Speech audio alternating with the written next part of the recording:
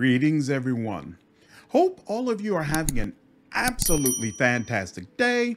We're back again with more Pathfinder, Wrath of the Righteous, and this time, want to get into a Camellia build.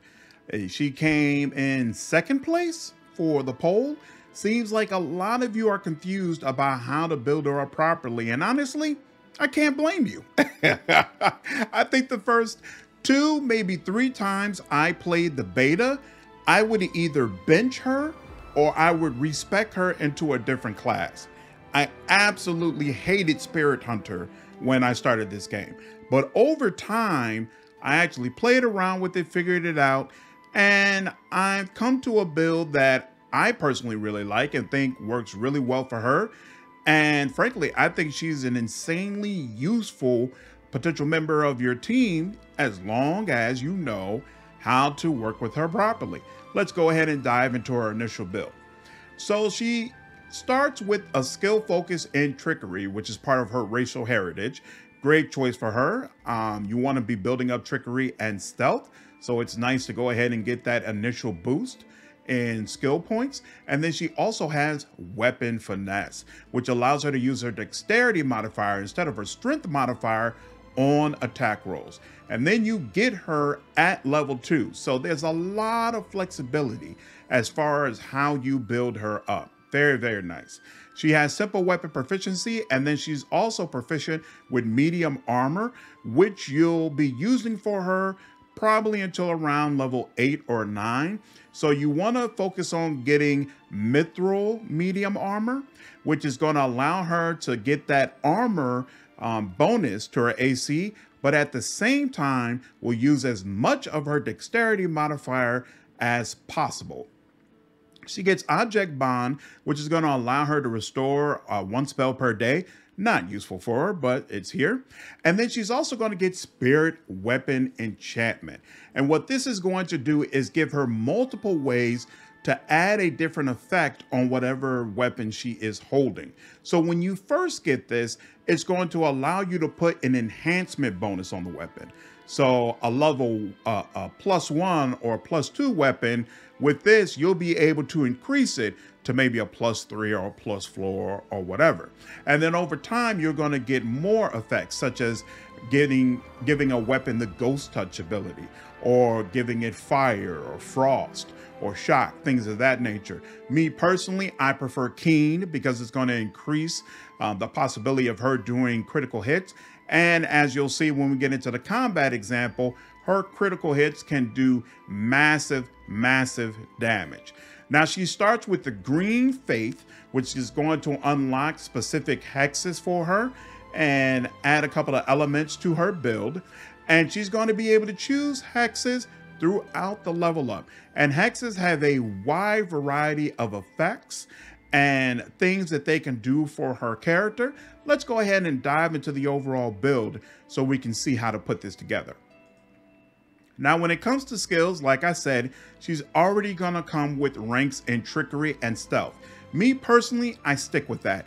Even though she doesn't have a class skill for stealth, to me, if you're using Camellia as your trickery person, more than likely you don't have people like Woljif or Arueshalae on the team. And not only do they specialize in trickery, but they also add a great deal to the stealth skill for your overall team. So if you're using her instead of them, it's worth it to go ahead and increase those ranks and stealth.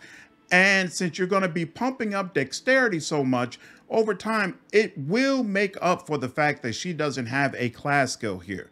So that's personally the way that I focus on her skill points. Now, here at level two for your Hex, you definitely, definitely, definitely want to stick with what the automatic recommendation is and get Ice Plant. It's going to give you a plus two natural armor bonus to AC, which is really nice, especially at level two. But what's even more important is that at level three, you're going to enter into a place that's going to allow you to buy an item that will give you an additional AC bonus on top of that plus two, as long as you have Ice Plant as one of your hexes. This is going to be a great bonus for of protection for Camellia and makes her much, much, and makes it much easier for her to be able to tank for you all throughout Act 1. So I definitely highly recommend if you're going to use her as your tank, this is a combo you should be doing no matter what your overall build or vision for her is. All right, now at level three, the automatic recommendation is dodge, but you all know how I feel about those monk feats. I avoid them like the plague. We're going to take off dodge and instead scroll up here to weapon focus, get her started on doing more damage. So we'll go weapon focus and then choose rapier. At level four, you're going to be able to increase an attribute point. So go ahead and put it into dexterity and continue to pump dexterity throughout your level ups. For your level four hex, me personally, I choose Evil Eye. It's going to give a one enemy a negative two penalty to AC, ability checks, attack rolls, saving throws, or skill checks, and that penalty will increase to negative four at eighth level. The only drawback about Evil Eye is that it is a mind affecting effect, and so there are some enemies that are immune to mind affecting and therefore also immune to evil eye. I didn't, I haven't experienced that come up that often, but I also usually play on normal. So it's only like the hardest of the hardest enemies that I really feel the need to debuff. Whereas if I was on core or something else, there would probably be a lot more enemies that I would want to apply this to, and therefore a lot more enemies that I would find out, oh, this guy's immune to it. So you could choose whether or not it makes sense for you to take this here. But for me personally, I love having Evil Eye right off the bat. And for your level five feat, I go ahead and go with Fencing Grace. It's going to allow you to use your dexterity modifier instead of your strength modifier for your weapon's damage. All right, and we're going to do things a little bit differently this time. I need to take one mythic level while we are actually building up our character levels. So at mythic level one, you want to scroll down and get a second spirit. And then go ahead and pick up wind. It's going to open up some really, really nice hexes for us. It also gives her a bunch of bonus spells, but honestly, you're not going to use those that much. Hexes are really where it's at.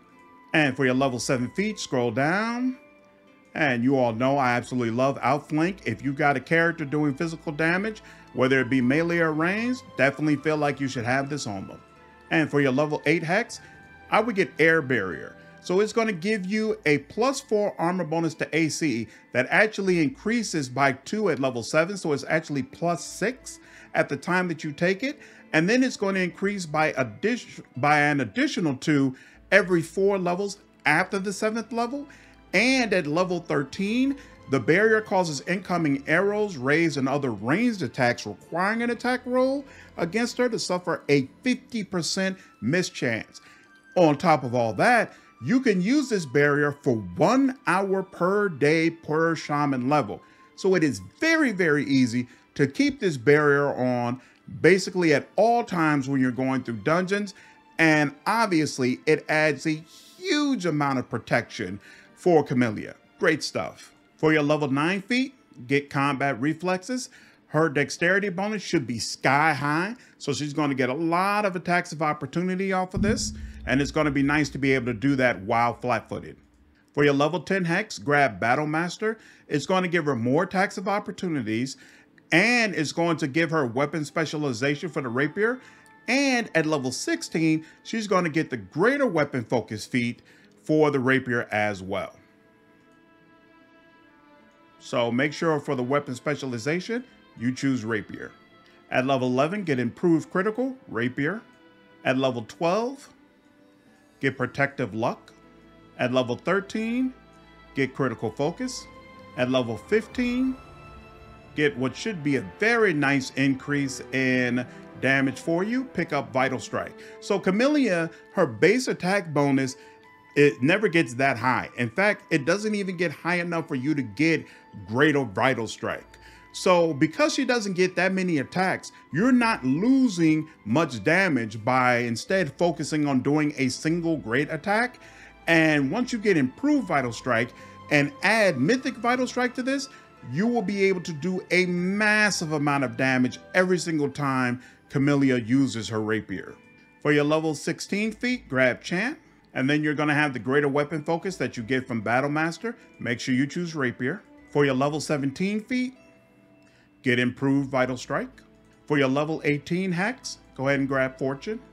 For your level 19 feat, get Piranha Strike. And then for your level 20 Hex, I would grab Wind Ward. Now, this is going to give you a ward that makes it where arrows, rays, or other ranged attacks that require an attack roll suffer a 20% miss chance. And then at level 16, this increases to 50%. I've tried to test this.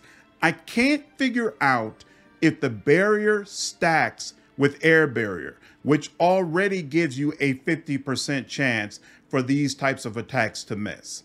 So since it's not a specific type of bonus, like it's not an enhancement or a um um, you all know the types of bonuses that I'm talking about, like the ones that basically cannot stack with each other. Since it doesn't specifically have that verbiage, my assumption is that these two will stack together, but I'm not completely sure about that, which is part of the reason why I saved this for level 20. But if you're able to confirm that they really do stack together, it might be worth it to actually take this even earlier even though keep in mind, it only lasts for one minute per shaman level. So it's not like the other barrier where it's going to basically last for hours for you. At Mythic level 2, go into extra Mythic ability and grab Ever Ready.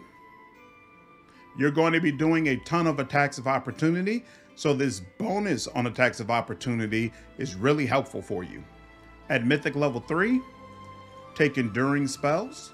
At Mythic level 4, going to improve critical, Rapier. At Mythic level 5, get greater enduring spells. At Mythic level 6, get Vital Strike Mythic. At Mythic level 7, get Leading Strike. At Mythic level 8, get Weapon Focus Rapier. At Mythic level 9, you can kind of grab what you want. Um, if you find you're still missing a lot, you could get Thundering Blows, of course. If for whatever reason Camellia is going down a lot, you could get Last Stand. You got a couple of good options here. As far as Mythic level 10, same deal. I would probably end up picking up another Mythic ability. So you have Last Stand, you have Mythic Charge, you have Thundering Blows. Whatever works for you for these last two, you can go ahead and pick up. Me personally, I'm going to go ahead and get Thundering Blows because since with Vital Strike, you're only hitting once, when you miss, it's basically a dud turn, and that's really irritating to me. So having Thundering Blows and ensuring that some damage is always done no matter what, it works for me.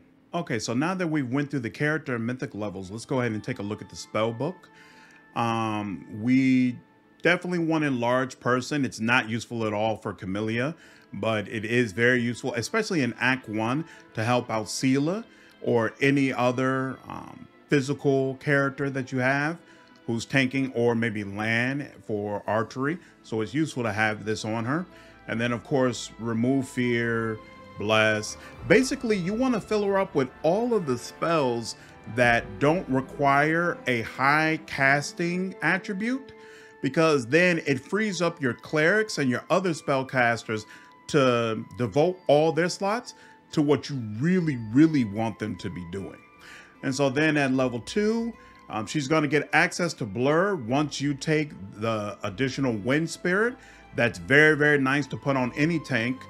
Bark Skin is a fantastic option to put on all of your tanks as well, or archers that you want to have up close for uh, snapshot purposes. And then, of course, she's got false life as well. You definitely want to put that on her. Give her some additional hit points while she's up front. And then you can fill that last slot with whatever you want. At level three, there's magical vestments. You should definitely be putting that on all of your tanks or upfront characters. Keep in mind that you need to put two applications onto Camellia for this, one for armor and then one for shield. And she can only use this in her spirit magic slots so you need a cleric or somebody else or a scroll that has access to this spell so that you can use it and make sure you get that double dose for her. She's really, really going to benefit from it. Then besides that, delay poison communal is a great option. The elemental resist elements and then protection from elements she gets later on. Um, definitely easy to put onto her. And then animate dead is a fantastic summon to have available. So again, on a cleric or somebody else, it's filling up their slots that they could do something else with. But for Camellia, it's perfect because she's not going to be casting a whole bunch of spells, especially not at enemies. So it becomes easier to have this on her to just throw it out when need be. At level four, Thorn Body, she's going to be right up front. So this is a great option for her. False Life Greater. Remember that you can use both False Life and False Life Greater together. Um, I put one casting of Restoration on her because you should be doing things to ensure that you don't have to cast Restoration a whole lot. But if for whatever reason it's helpful for your particular team to have more castings of it, you could, of course, fill those slots out. And then Divine Power is going to help her in melee, gives a plus one luck bonus on attack rolls, weapon damage rolls, strength checks, and strength base checks for every three caster levels. So it's going to make it much easier for her to be able to hit with her attacks. You can make an additional attack with this, but a lot of times I have haste on, so it doesn't mean that much for me. At level five, animal growth is fantastic. If you have a pet, you definitely want to go ahead and throw this on them. And then True Seeing, and later on True Seeing and Communal are both great to see through all the invisibility and concealment that enemies love to use. Otherwise, I just filled it out with you know, their breath of life is uh, nice to be able to bring somebody back from the dead if need be. And then she has a couple of more summons, nothing special. Then at level six, this is going to be really, really nice for you. You're going to get all of the mass versions of these enhancement bonuses. So plus four strength, plus four constitution, plus four um, to wisdom, and plus four to charisma. Only thing that it's missing is intelligence. I think the clerics might get access to the intelligence version, but oh, and it doesn't also doesn't have the plus four to dexterity. So the advantage of all these is really to increase the saves of your team.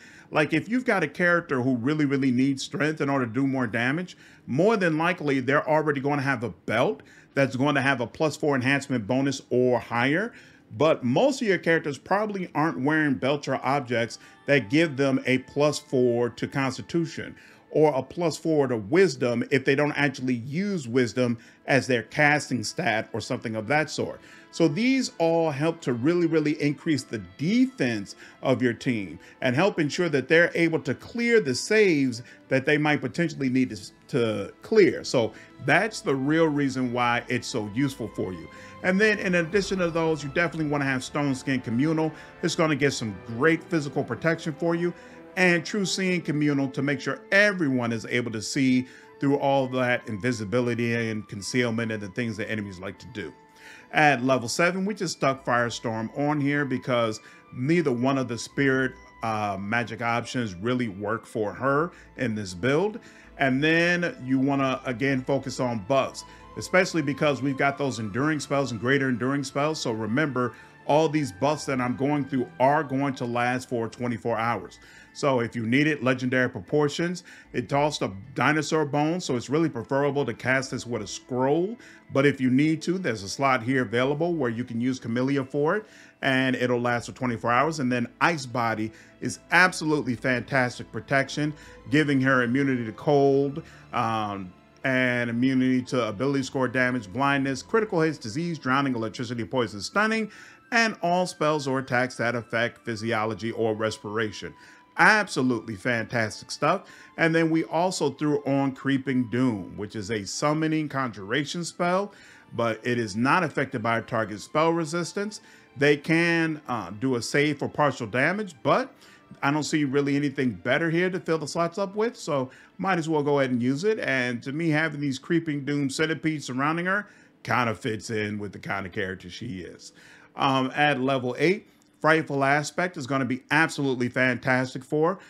The size bonus doesn't help her for as far as damage because she's focusing more on dexterity than than strength, but there is a a base bonus to damage from increasing your size, even though the attribute increase doesn't help you. And because she's so much bigger and taking up so much room, it's going to allow her to get much, many more attacks of opportunity which is going to be really, really nice for her build. Otherwise, I'm not really impressed with anything in this list for her build specifically. So I just fill it out with some more summons that you can throw out if you feel like you're going to get in a really tough fight. And then finally at level 9, She's got a summon here for the spirit slot because shape change doesn't really help her all that much. And then you have access to Winds of Vengeance, which is going to surround her with winds that will damage enemies if they try to attack her. Foresight is going to give her an additional bonus to AC. And then, of course, Heal Mass is fantastic when you need to be bailed out of a situation. And it, while your cleric or your main healer, of course, is going to be able to use this a lot easier, having it on Camellia is just another way to free up slots for the kind of things that you might want your cleric to be doing instead. And so all of this together, again, she's not like this great spellcaster. She's not going to be damaging enemies left and right with her spells. But I just feel like she fits really, really nice with the team dynamic as far as freeing up roles or slots for them to be able to do other things with the spellcasting abilities that you want them to be able to use. As far as the inventory goes, I did use her for this game, but I didn't optimize her gear the way I probably should have. Um, so this is the Icy Protector ring I was talking about earlier. It's going to give you an additional plus two natural armor bonus to AC. So when you combine that with the Ice Plant Hex early in the game, very, very nice combo. Obviously, you want to keep up with her buckler. Make sure that you're finding her a plus five rapier. Um, we don't need to have armor on them because of the hex. You want to find something that's going to increase her trickery skills. So this is going to give her a plus 10 boost. I've got a headband of mental per perfection for her. You need to find something that is going to increase her wisdom. Otherwise, when you get to those higher levels, you're not going to have any spell slots. So you don't need uh, intelligence and charisma is not necessary. I just liked having this mental perfection band on her. But wisdom, you definitely, definitely want to make sure you have something on her that is increasing that. And basically, you just want to focus on melee um, related boost for her. So, like I said, I didn't do a great job of that this go round, but you get the idea. You know what she needs. And of course, you want to have a belt on her that is going to increase her dexterity and help her to attack and damage if at all possible. Okay, so now we're in a combat situation. And as you can see, most of the buffs that I have on Camellia, she was able to cast herself. Um, we needed someone else to put heroic invocation or whatever form of heroism your team has onto her. And then she needs someone else with magical vestments because she only has one casting of it. And you want to make sure you put it on both her armor and her shield. Um, you need someone with magic weapons so that she's able to attack better and do more damage. And finally, Crusader's Edge is nice for her as well. All of these other buffs, though, are she can cast by herself. Many of them apply to the entire team and they're going to last for 24 hours. And what I found out just now that I didn't know before is actually her enhancement to buffs applies to hexes as well. So air barrier is going to last for 24 hours and wind ward is going to last for 24 hours. So very, very nice stuff. All right. And just to make clear as well, you see her armor class is 69, and that's with a negative 2 to AC from size. So she can easily build her AC up to just massive, massive numbers with very little effort.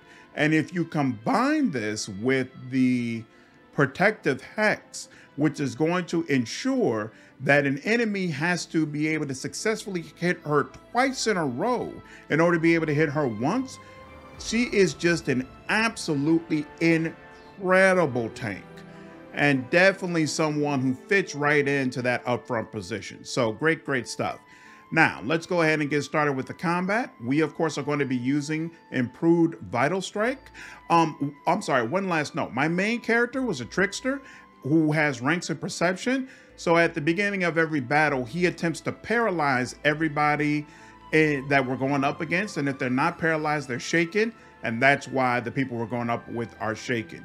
Even if that wasn't the case, she does have frightful aspects, so you would be attempting to shake enemies automatically anyway. Okay, and on the very first hit, she does a critical hit, which does massive, massive damage, like I said, 403 damage because of that improved Vital Strike. And then in addition to that, she did 34 damage from Leading Strike. Because I think we, oh, we attempted to hit, that's interesting. We attempted to hit him, but didn't actually, oh, we did, we did successfully hit him. And that's why that Leading Strike mark was placed on him. So usually she's going to do somewhere between 100 and 150 damage if she's able to strike successfully. But if she's able to critical hit, whoo, it's a it's a big deal. It's a big deal. All right, let's keep moving forward. All right, and now it's her turn again. We've got a long, long line of uh, giants in front of her, so we'll just pick one of them. And like I said, with just a regular hit, usually it's going to do somewhere between 100 and 150. We got a little bit more because of the electricity, not that much. So one of them tried to hit her. Her armor class is 71. When it tried to hit her, it was an attack result of 38, not nearly enough in order to be able to strike. And I don't, I think I might have forgotten to mention it, but we are on unfair right now. So even on unfair difficulty with just standard effort, we didn't bounce around to four or five different classes, just sticking with Spirit Hunter, she is able to get her AC up to massive numbers. All right, let's try to attack again. And then Vital Strike, once again, we're able to do a critical hit, 387 damage this time. And again, we did Leading Strike, 33 damage. Just massive, massive numbers. All right, back to our turn again. They're surrounding me, but Seelah's a little bit too close. So they've been absolutely obliterating her. But every time they attempt to attack Camellia, it is flat out a miss. They're not coming anywhere close to her armor class. All right, and we'll go ahead and attack the closest one. And 134 with a regular hit. Once again, all of them took a swing. All of them missed. Let's go ahead and attack again. 144. All of them swung, all of them missed. 135, he's dead. All right, this time two of them gave up on attacking Camellia and instead trying to attack the horse. Um, one of them did attack her again and still missed. And once again, critical hit, 389 damage, an additional 36 from leading strike. All right, now both of them have given up on attacking her and instead are attacking the horse. 149 damage with another 30 from leading strike. Again, the giant continues attacking the horse. 134 damage. Still attacking the horse. 124 damage. Horse is down now. Neither one of neither the horse nor Seelah were built for drama the way Camellia is, but this should about do it. And one more time. One more critical hit. 378 damage with an additional 37 damage from leading strike. And again, that is on unfair difficulty. So with this build, you basically make Camellia an absolute melee monster and someone who can fill in a lot of the gaps you have regarding spell casting and someone who is absolutely fantastic at filling in that tank role. You can basically throw in the middle of some really, really hard hitting enemies and she'll stand right there toe to toe with them. And every so often, she will absolutely blow them up for major damage, making her a very, very useful character to have on your team. So that is the build. I'm looking forward to hearing your feedback. Let me know if there's something that you would have done differently. And as always, if you enjoyed this video, please leave me a like down below, share this video, and subscribe to the channel if you haven't already. I will see you all in the next video. Take care.